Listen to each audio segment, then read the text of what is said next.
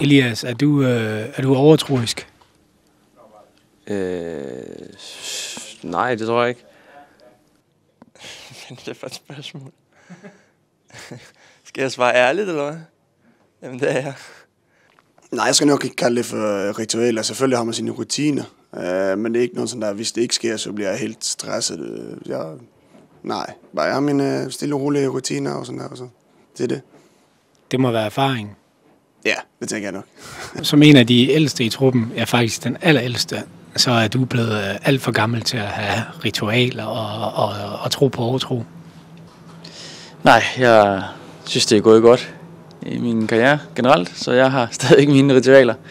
Så det er ikke sådan, at når du i Aarhus Fremad scorer to gange med, med højre skøjten, at så skal du have højre støvle på først, for eksempel, øh, inden du skal spille næste kamp.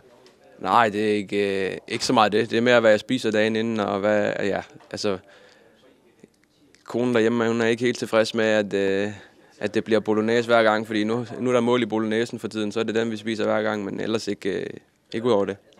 Så der er alligevel en, en lille grad af, af overtro. Ja, det er der vel nok, kan man godt sige.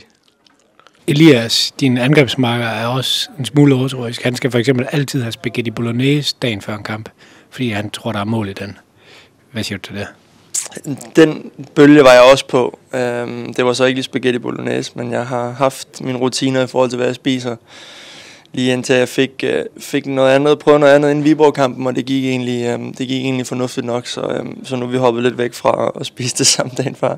Jeg skal altid have højre fodstøvle på først, og højre benskinne, og snøre vonden på, på højre fodstøvle først.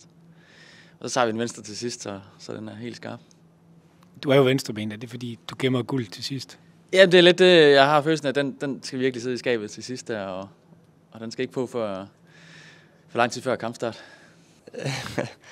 Jamen, jeg, jeg har nogle af de der basale ting, om at tage højre støvle på, venstre støvle, binde højre, binde venstre, højre skinne først, inden venstre skinne. Så har jeg nogle ting, jeg gør derhjemme, men det tror jeg bare, at jeg holder lidt for mig selv. Jeg har lidt for meget overtro til min smag, synes jeg.